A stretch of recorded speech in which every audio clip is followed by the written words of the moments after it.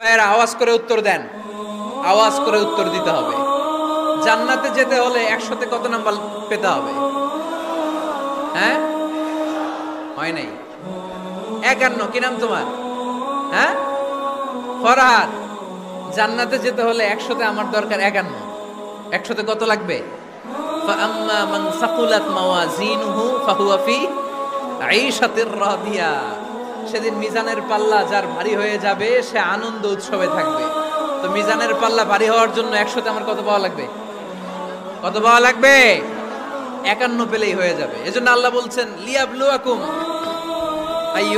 আহসানু আমালা। যেটাই করবে, ভালোভাবে করবে। আল্লাহ এটা পরীক্ষা করতে চান যে আমরা ভালোভাবে কে কতটুকু আমল করেছি।